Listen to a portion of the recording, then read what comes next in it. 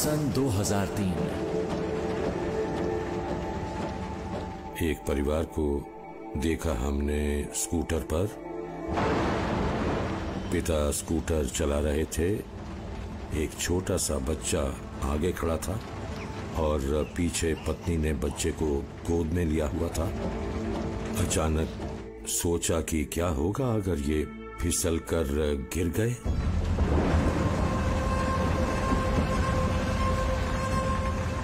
और ठीक यही हुआ भी।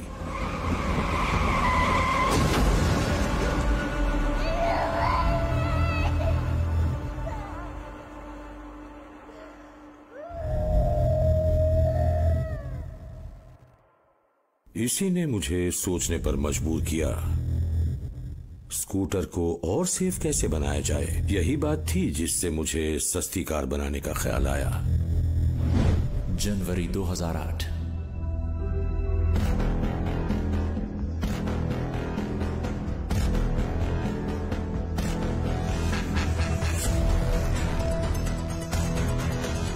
देवी और सज्जनों, आज हम पेश कर रहे हैं इंजीनियर्स और डिजाइनर्स की नौजवान टोली की बनाई टाटा मोटर्स की नई कार। एक आम लोगों की कार जिसका सबको इंतज़ार था।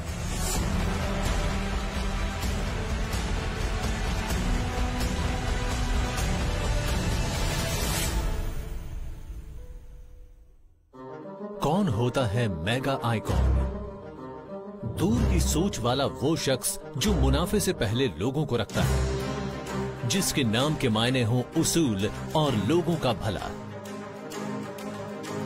रतन नवल टाटा आते हैं उन जमशेद जी टाटा के खानदान से, जिन्हें भारतीय उद्योग का जनक कहा जाता है, और जिन्होंने 1870 के दशक में विशाल टाटा समूह की बुनियाद रखी थी। सौ से ज़्यादा साल बाद रतन टाटा ने टाटा समूह का चेयरमैन बनकर इसे कंपनियों के एक बेहतरीन भारतीय समूह से दुनिया का विशाल उद्योग समूह बनाया। आज इस भूतपूर्व चेयरमैन को भारत के और शायद दुनिया के बेहतरीन उद्योगपतियों, निवेशकों और समाज सेवियों में गिना जाता है। आइए देखें कि कैसे ढाला उन्होंने अपनी तकदीर को।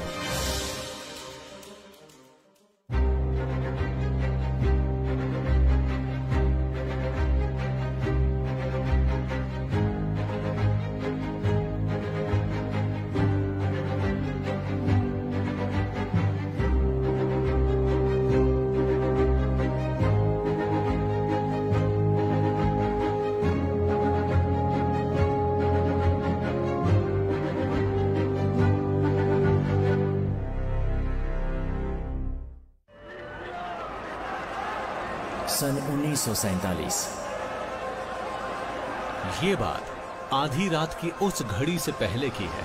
भारत के आज़ाद फिजा में सांस लेने से पहले की, जब 10 साल के टाटा को हालात का तमाशाई बना रहना गवारा न हुआ।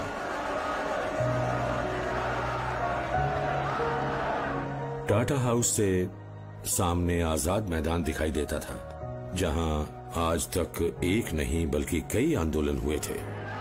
एकदम सामने मैदान दिखाई देता था। भीड़ को तितर बितर करने के लिए लोगों पर लाठी चार्ज होता दिखाई देता था।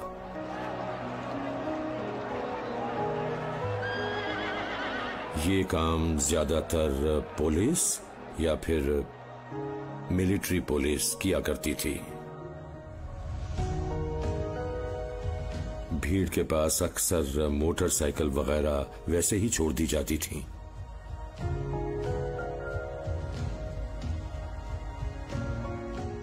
और हम स्कूली बच्चों के लिए कोई अनोखी बात नहीं थी। पेट्रोल टैंक खोलकर उसमें चीनी डाल देना। क्योंकि हमें मालूम था कि अगर हम ऐसा करेंगे तो कुछ दूर चलकर इंजन सीज हो जाएगा।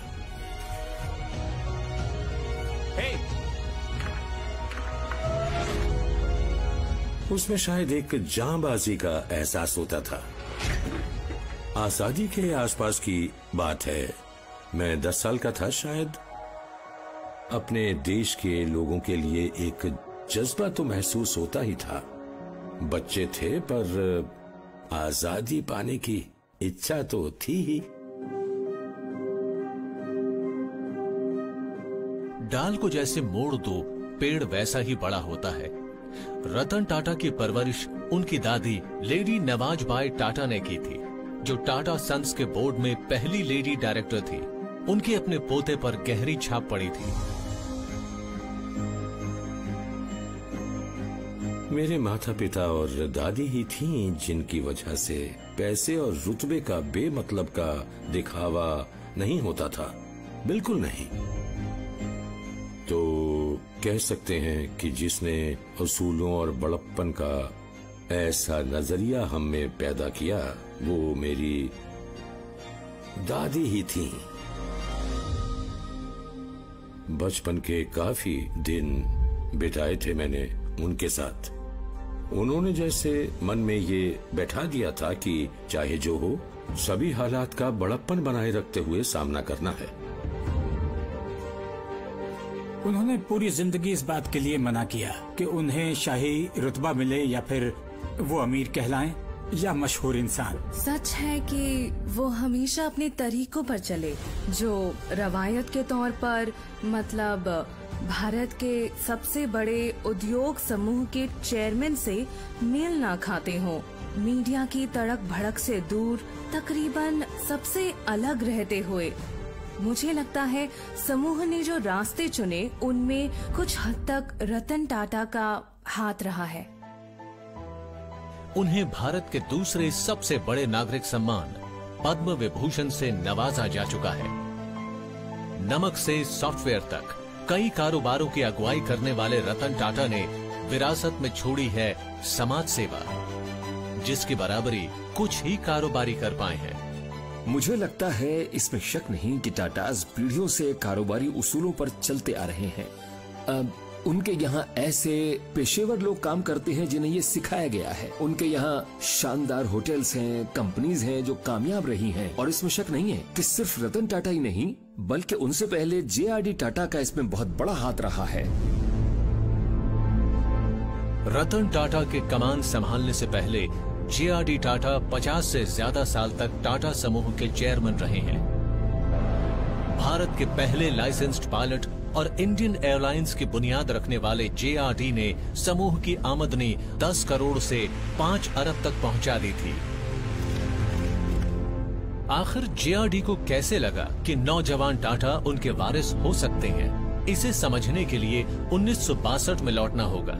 जब 25 साल के रतन टाटा समूह में काम करने वालों में से एक बने थे। शुरू में मैं लॉस एंजलिस में एक आर्किटेक्ट के ऑफ़िस में काम करता था।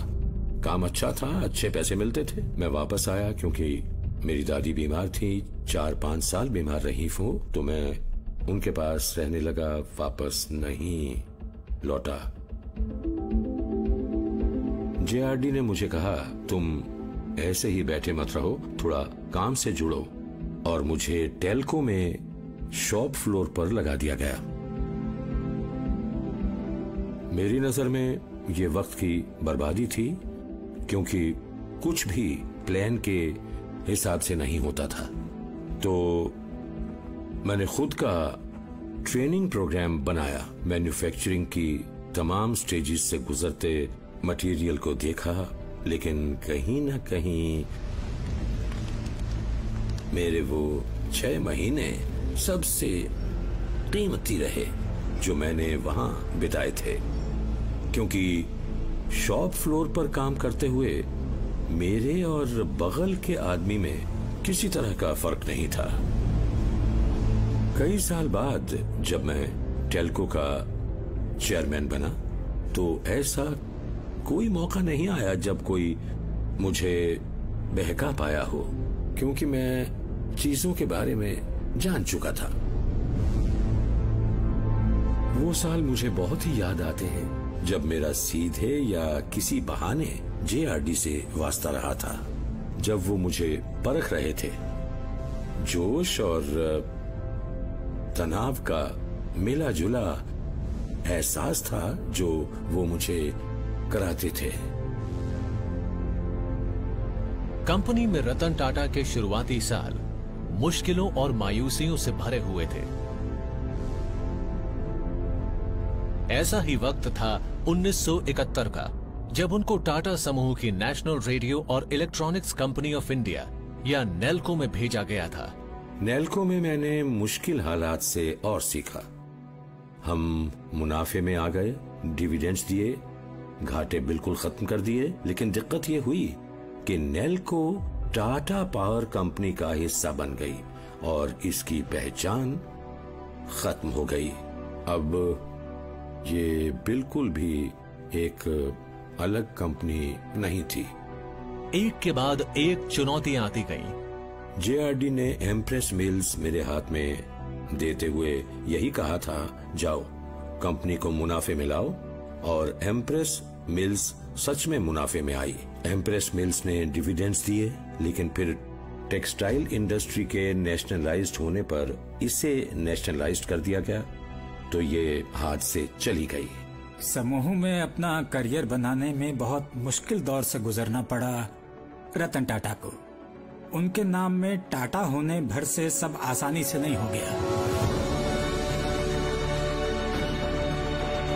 लेकिन रतन टाटा के लिए मुश्किल हालात कोई नई चीज़ नहीं थे। एक बार यूनिवर्सिटी ऑफ़ कॉर्नेल में आर्किटेक्चर में ग्रेजुएशन करते हुए, उन्होंने एक बहुत बड़ी चुनौती का सामना किया था। मैं कॉलेज में था, सत्रह साल का था। उस उम्र में पायलट का लाइसेंस लिया जा सकता था। मगर मेरे जैसा आदमी बार बार किराए पर अकेले जहाज़ लेना गवारा नहीं कर सकता था। तो मैंने अपने क्लासमेट से फ्लाइंग पर साथ चलने की बात की। मैं हमेशा तैयार रहता था कि अगर कोई किराया बांट ले तो मैं उसे फ्लाइंग पर साथ ले जाऊँ। उड़ान का तजुर्बा लेने की गरज से उस स्टूडेंट ने उड़ान का मज़ा लेने के लिए तीन यात्रियों को तैयार कर लिया। लेकिन जहाज़ का एक इंजन खराब हो गया और अचानक उनकी मस्ती थम गई।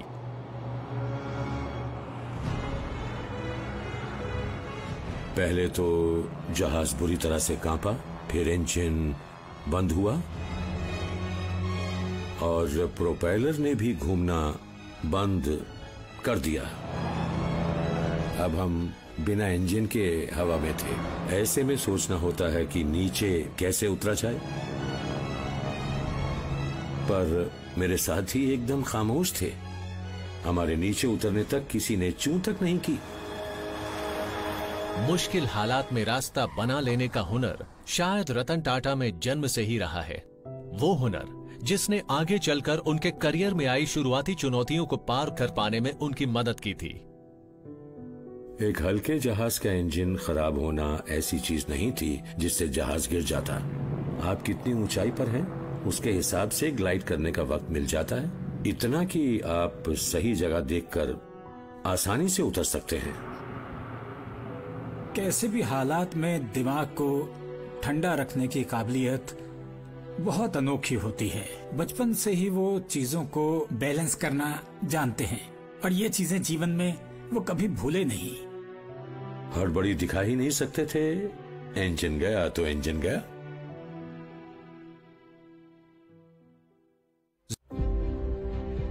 अस्सी के दशक की शुरुआत में रतन टाटा को टाटा समूह में करीब 20 साल हो चुके थे।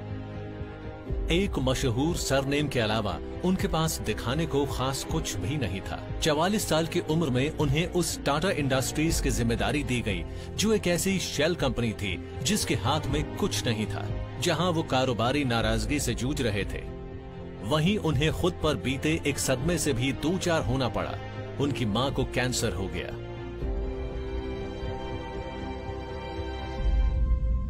सन उन्नीस न्यूयॉर्क बड़ा मुश्किल वक्त था ये उनके लिए, क्योंकि अपनी माँ से बहुत लगाव था उन्हें। वो सच में न्यूयॉर्क गए और हॉस्पिटल में कई महीने उनके साथ बिताए। उनका दिमाग कई तरफ़ खींचता था उन्हें। वो अपनी माँ के साथ तो थे, पर यहाँ पर क्या चल रहा था, उसकी भी पूरी जानकारी रखने की चिंता थी उन्हें। कभी कभी लगता है हमारा सब खत्म हो रहा है। हम में से ज़्यादातर इस तनाव से टूट जाते हैं। लेकिन रतन टाटा जैसे कुछ लोग ऐसे वक्त को बेहतर कल के ख्वाब देखने में लगाते हैं। जब मेरी माँ बीमार थी, तब हॉस्पिटल में मेरे पास काफ़ी वक्त होता था। तो मैंने उस वक्त का इस्तेमाल टाटास के लिए स्ट्रेटेजिक प्लान्स बनाने में किया। मुझे लगता था कि हम उतना नहीं कर रहे हैं जितना हम टाटास में कर सकते हैं। हम धुएँ की चिमनियों वाली इंडस्ट्रीज़ पर ही ध्यान लगाए हुए हैं, न कि नई उभरती इंडस्ट्रीज़ जैसे इलेक्ट्रॉनिक्स, मेडिसिन वगैरह। मेरा ख्याल है कि जब कोई बहुत ज़्यादा तनाव में होता है, जैसे वो थे, अपनी माँ को मरते देख रहे थे तो काम को छोड़कर कोई और चीज़ उतने अच्छे से ध्यान नहीं बटाती। तो उन्होंने अपनी ताकत एक तरफ़ हमारी माँ की देखभाल में लगाई हुई थी तो दूसरी तरफ़ वो अपने स्ट्रैटेजिक प्लान पर काम कर रहे थे। जिसे न जाने क्यों टाटा सन्स बोर्ड ने नकार दिया। उस प्लान का एक बड़ा हिस्सा समूह की मौजूदा कंपनियों को नए सिरे से खड़ा करने की ज़रूरत को लेकर था, जो न सिर्फ़ तादाद में ज़्यादा थी, बल्कि, जैसा मैंने कहा, उनका एक दूसरे के कामों में दखल भी रहता था। तो ऐसे में मौजूदा कंपनियों में अलग होने या कंपनियों की अपनी पहचान खोकर दूसरी कंपनियों में मिल जाने को लेकर एक हिचक थी। लेकिन वो ऐसे इंसान हैं कि जिन्हें अगर यकीन हो जाए कि ऐसा करना ठीक है तो वो उस फैसले पर कायम रहते हैं। रतन टाटा का अपनी सोच पर पूरे भरोसे के साथ आगे बढ़ना ही शायद जेआरडी टाटा को पसंद आया। और उन्होंने उन्हें अगले चेयरमैन के तौर पर चुनने का ऐसा फैसला लिया जिससे बोर्ड के कई सदस्य खुश नहीं थे। तो अब वो ग्रुप चेयरमैन बन गए ऐसा करके क्या सिखाया उन्होंने? कंपनियों को डुबोना और उनकी तकनीक और फालतू के ख्यालों का जुनून। बहुत गड़बड़ करने वाले इंसान है वो। आसान कामों को मुश्किल बना देते हैं। काश जे जानते हो कि वो क्या कर रहे हैं। मिस्टर जेआरडी टाटा लोगों को बड़ी जल्दी पहचान लेते थे।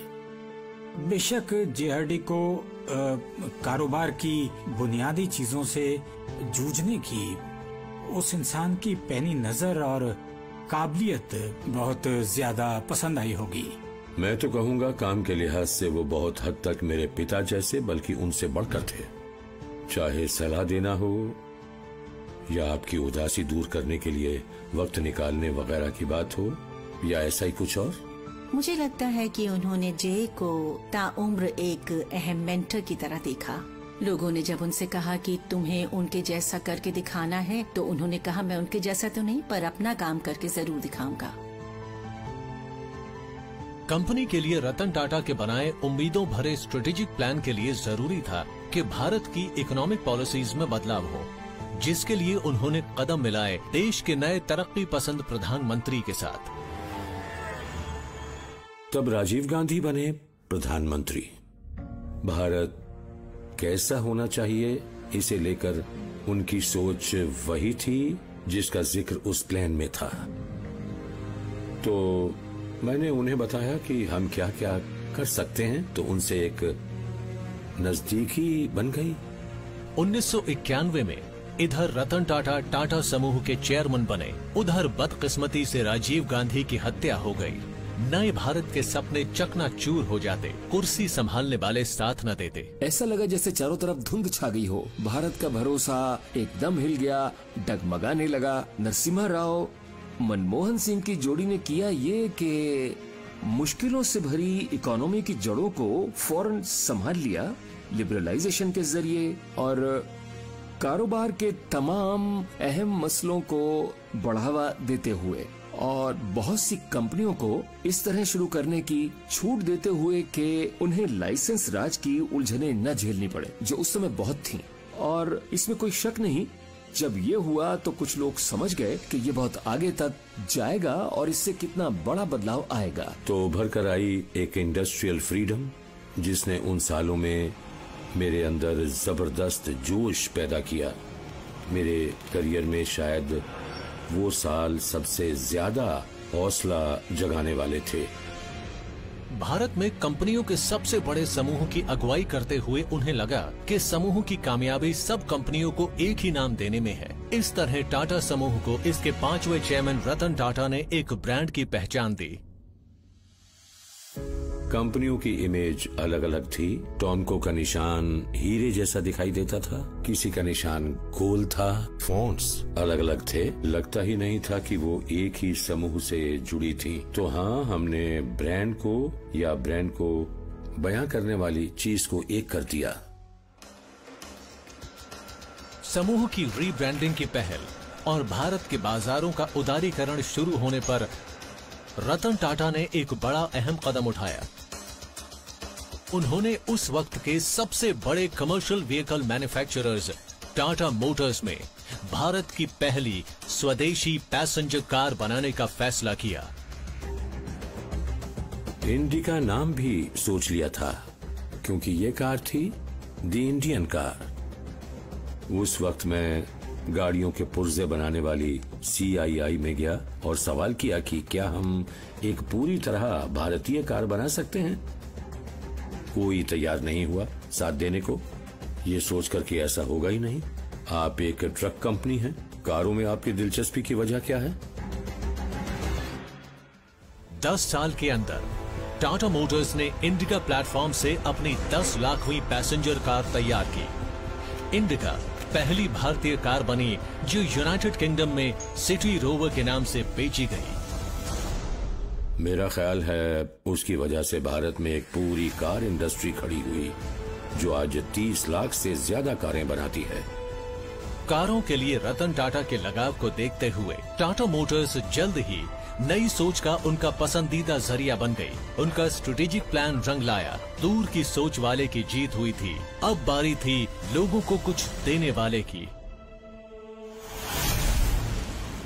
सन 2003 एक परिवार को देखा हमने स्कूटर पर। पिता स्कूटर चला रहे थे। एक छोटा सा बच्चा आगे खड़ा था और पीछे पत्नी ने बच्चे को गोद में लिया हुआ था। अचानक सोचा कि क्या होगा अगर ये फिसल कर गिर गए।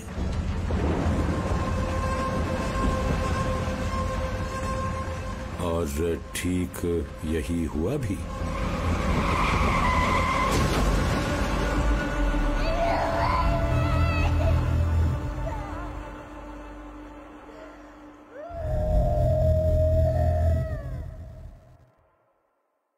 इसने मुझे सोचने पर मजबूर किया, स्कूटर को और सेफ़ कैसे बनाया जा सकता है?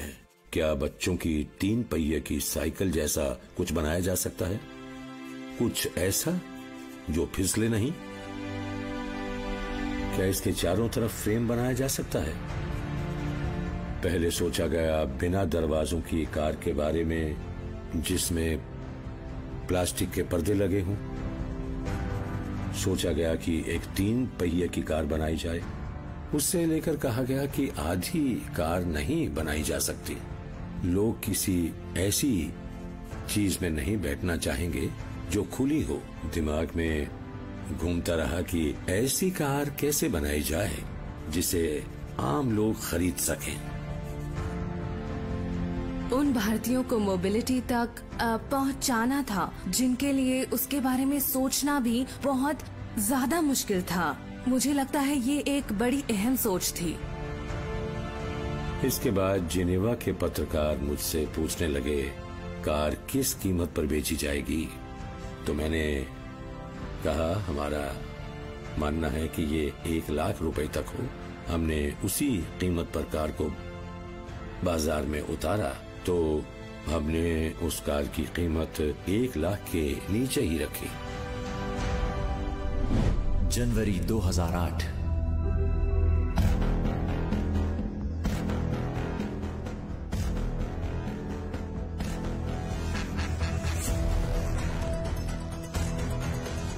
देवी और सज्जनों, आज हम पेश कर रहे हैं इंजीनियर्स और डिजाइनर्स की नौजवान टोली की बनाई टाटा मोटर्स की नई कार। एक आम लोगों की कार जिसका सबको इंतज़ार था।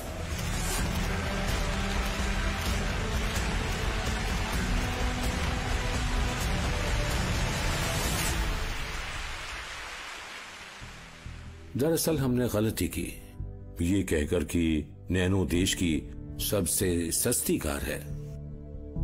लोगों को इसे लेकर गर्व होने के बजाय शर्म का एहसास पैदा हुआ कि हम महँगी कार नहीं खरीद सकते। तो सबसे सस्ती कार सबसे कम पसंद वाली कार बन गई और लोग इसके पीछे का मकसद भूल गए।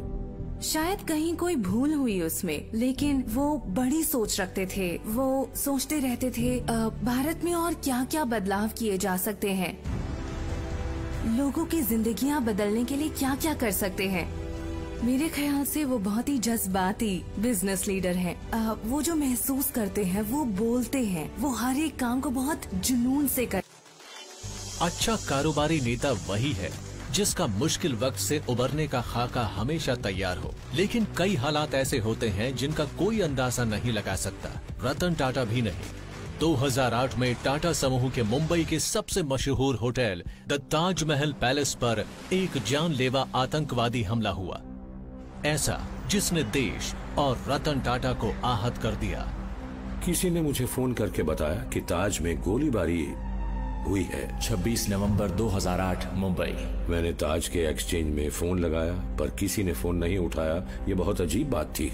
तो मैं अपनी कार से वहाँ गया पर चौकीदार ने मुझे लॉबी में जाने से रोक दिया क्योंकि वहाँ गोलियाँ चल रही थी।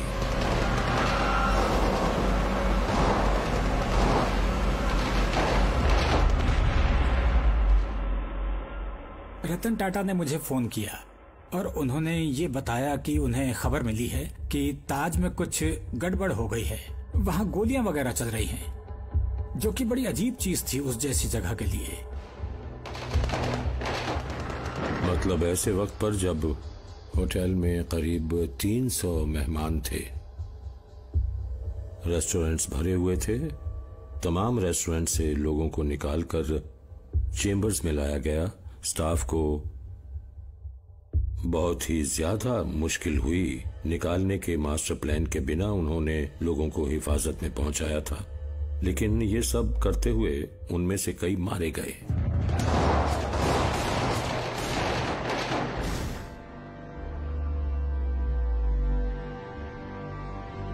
उस पूरे वाक़े के दौरान वो ताज और ताज के मैनेजमेंट के साथ खड़े रहे थे। उन्होंने यहाँ बाहर फुटपाथ पर पूरे तीन दिन और तीन रात बिताई थी। जो हुआ उसके खत्म होने के बाद मिस्टर कृष्ण कुमार और मुझे मेन एंट्रेंस से वसाबी रेस्टोरेंट ले जाया गया। आखिरी गोलीबारी उसी जगह पर हुई थी। वहाँ दीवारों पर गोलियों के निशान थे कांच टूटे थे वॉलपेपर वगैरह सब जले हुए थे और हम जब वहाँ गए तब बिजली नहीं थी। उस नजारे को देखकर घबराहट सी हो रही थी कि ऐसा न हो कि अगले पल कहीं से कोई गोली चला दे। ये भी ख्याल आया कि क्या गोलीबारी सच में रुक गई है? ये बहुत अ, अच्छा वक्त तो नहीं था। एक अजीब सी घबराहट थी। दिमाग बड़ी मुश्किल से ये मानने को तैयार हुआ कि हमला सच में थम गया है। हालाँकि माहौल ऐसा सोचने की इजाज़त नहीं दे रहा था।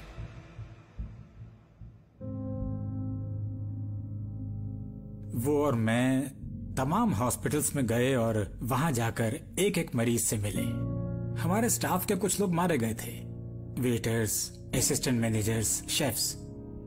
तब ये सोचा गया कि हमें खुद को सिर्फ़ ताज की और उन लोगों की ही चिंता नहीं करनी चाहिए जो सिर्फ़ ताज पर हमले की चपेट में आए थे। छत्रपति शिवाजी टर्मिनस और कामा हॉस्पिटल के इलाके वगैरह में भी अ, बहुत सारे लोग हैं जो वहाँ गोलीबारी में मारे गए हैं। तब हम लोगों को लगा कि हमें लोगों की मदद के लिए एक पब्लिक वेलफेयर ट्रस्ट शुरू करना चाहिए। और हमने इसकी शुरुआत की ताज से। ऐसा सिर्फ़ मुंबई आतंकी हमलों के वक्त नहीं हुआ था। उन्नीस सौ बानवे, उन्नीस में, जब मुंबई में दंगे और खून खराबा हुआ था, तब उस समय रतन टाटा ही थे, जिन्होंने आधे पेज का एड देकर कहा था कि हम सब एकजुट हों और शायद ये भी कि बॉम्बे को हमें जलने नहीं देना है। और, शायद वो खुद श्री कृष्णा कमीशन के सामने पेश हुए, बताने के लिए कि किस तरह के दर्दनाक हालात उन्होंने देखे और अनुभव किए थे। मैं जानती हूँ कि ये उनकी फितरत में है। कई मानों में मुझे बहुत फख्र होता है ताज जो कर पाया, जो भी उन्होंने किया, फख्र की ही बात थी। हमने एक एक ईंट करके इसे फिर से पहले से बेहतर बनाया, काफ़ी बेहतर।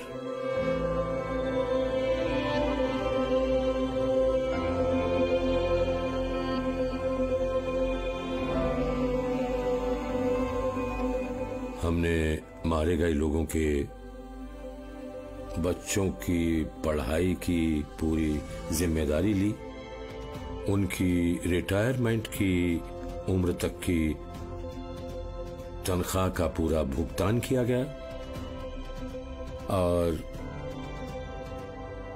फख्र की बात है कि हम ये सब कर पाए।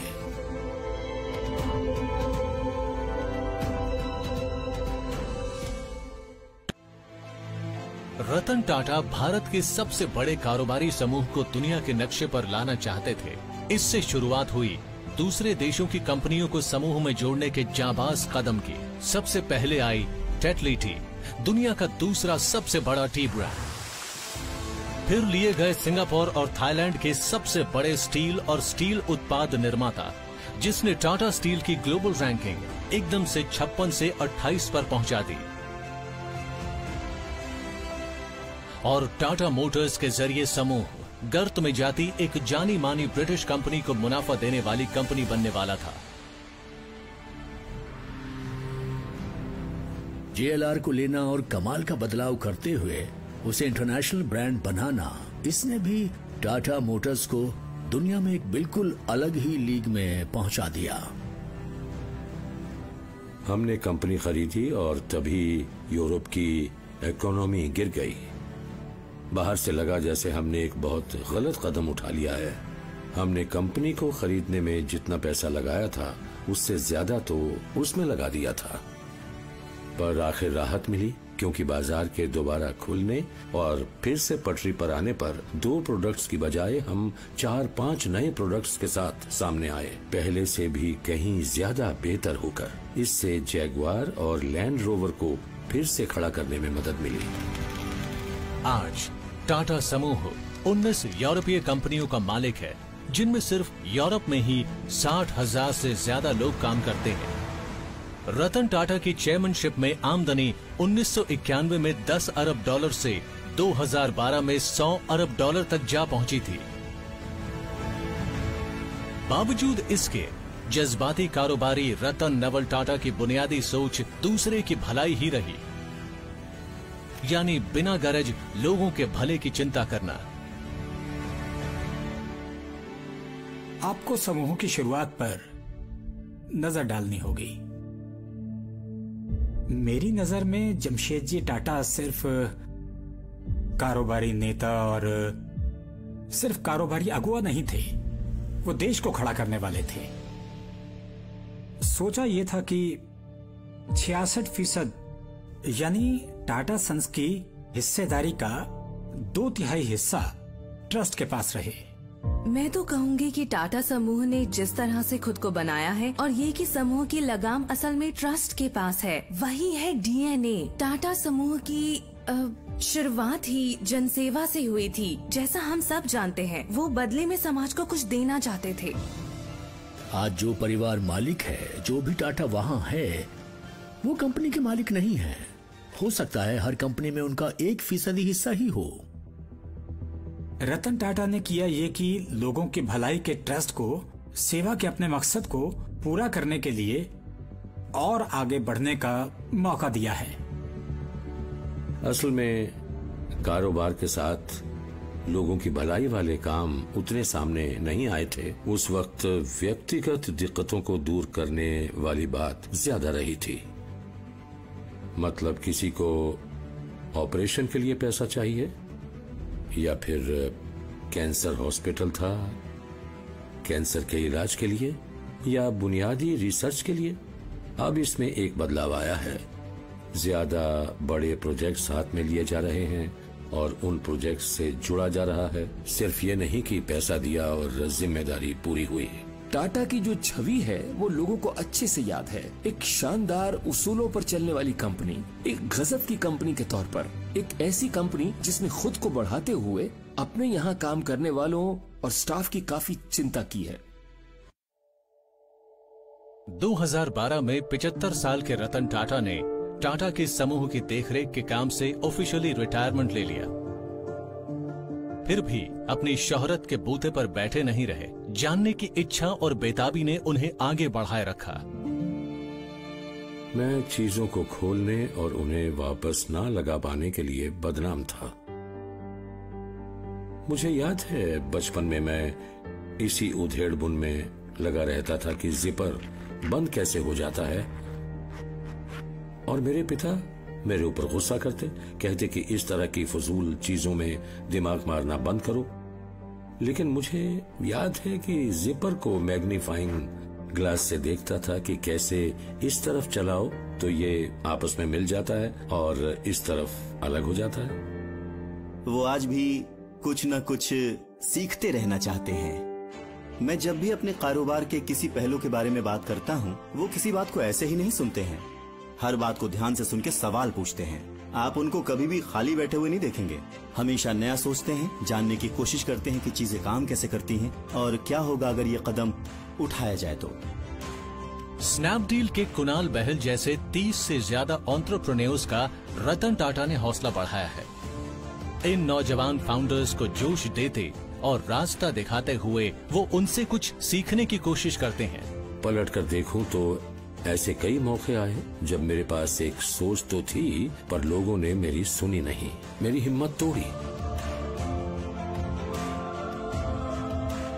तो मुझे तो ये बहुत ही अच्छा लगता है अच्छे नौजवान दिमागों के साथ होने और उनसे बात करने में। ये एहसास सच में खुशी का है।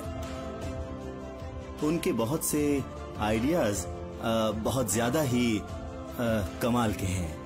और कुछ लोगों को तो वो दुनिया के परे और हैरत अंगेज तक लगते हैं। लेकिन मुझे लगता है कि वो लीक से अलग हटके सोचते हैं, कोई ऐसा जो चलन को चुनौती देना चाहता है। पुलिस वाले की मोटरसाइकिल में चीनी डालने वाला लड़का, वो अगुआ जिसने भारत को इसकी सबसे सस्ती कार दी। दूर की सोच रखते हुए देश के सबसे भरोसेमंद ब्रांड्स में से एक को जोड़ने और दुनिया भर में पहुँचाने वाले ऑन्टरप्रेन्योर्स की अगली पीढ़ी के मददगार इन्वेस्टर और मौका न होने पर भी वहाँ उन्हें पैदा करने वाले, कभी न रुकने वाले जन सेवक रतन टाटा ने जो बिंदास और गजब के रास्ते चुने, उससे उनकी ज़िंदगी एक सवाल में बयां हो जाती है। क्या आप सिर्फ़ इसलिए अपने आखिरी सौ रुपए या हज़ार रुपए किसी ऐसे इंसान को देंगे जिससे आप कभी नहीं मिले, क्योंकि उसने जो कहा, वो बात आपके दिल में उतर गई, या उससे दूर चले जाएँगे, और बाद में अंदर से आवाज़ आए कि मुझे इस तरह चले नहीं जाना चाहिए था। ये आदमी भरोसा करने लायक था। और शायद इसी वजह से भारत और दुनिया भर की तमाम पीढ़ियाँ रतन नवल टाटा को हसरत भरी निगाहों से देखती हैं। ये है वो मेगा आइकॉन जिसने अपने पंख फैलाए लोगों के भले के लिए।